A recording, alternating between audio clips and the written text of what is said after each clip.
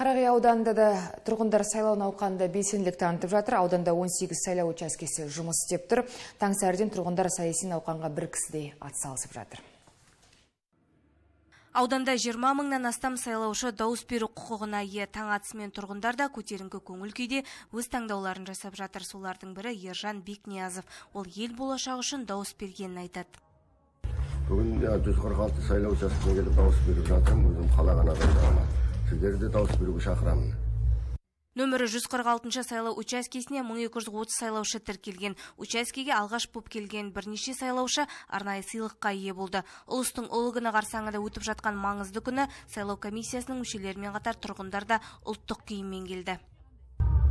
сайлау учаскесі өз жұмысын таңғы жетіден бастап кетті алғашқы бірінші болып келген сайлаушымызға естелік сыйлықтарымызды табыс еттік учаскеде кешкі сағат жиырма нөл нөлге дейін яғни кешкі сегізге дейін жұмыс жүргізетін болады енді бүгінгі сайлаудың әділ өтуін учаскеде бақылаушылар байқап отыр. Бүгінгі күні бойы өз жұмысымызды жалғастыра беретін боламыз. Қарағияда облыстық және аудандық маслихат депутаттарының сайлауына 44 кандидат, оның ішінде облыстық маслихатқа төртеу, Қарағия аудандық маслихатына 40 үміткер тіркелген. Жансай Оразбай Нұрсұлтан Нұржанов, Дидар